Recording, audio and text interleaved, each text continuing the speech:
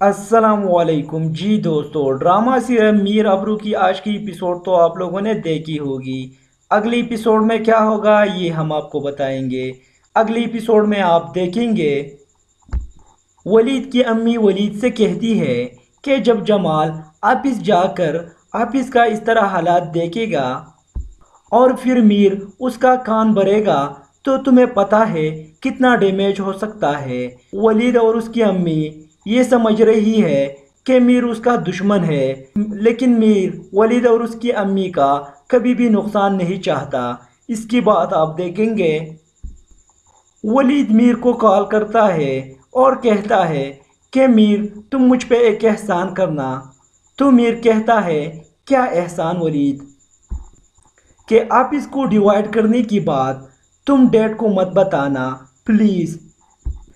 اس کی بات آپ دیکھیں گے کہ میر کے انکل میر سے کہتا ہے کہ تم نے وہ کام کیا ہے جو ہماری دشمن کر سکتا تھا۔ آپ اس کو دو حصوں میں تقسیم کرنا۔ میں سوچ بھی نہیں سکتا تھا کہ میر تم اس طرح کام کرو گے۔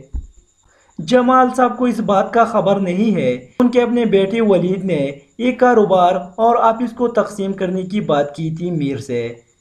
اس کی بات آپ دیکھیں گے۔ کہ میر ابرو سے روتے ہوئے کہتا ہے کہ میں نے کاروبار اور آفس کو تقسیم کرنے کی بات کہی تھی۔ میں تم اور سائم کو ایک ساتھ نہیں دیکھ سکتا تھا۔ مجھے جلن ہوتی تھی۔ تم دونوں کو اپنی آنکھوں کے سامنے ایک ساتھ نہیں دیکھ سکتا تھا۔ میں جلس ہوتا تھا۔ اس لیے میں نے یہ بات کی تھی۔ تو ابرو کہتی ہے، بالکل ٹھیک کہا آپ نے میر۔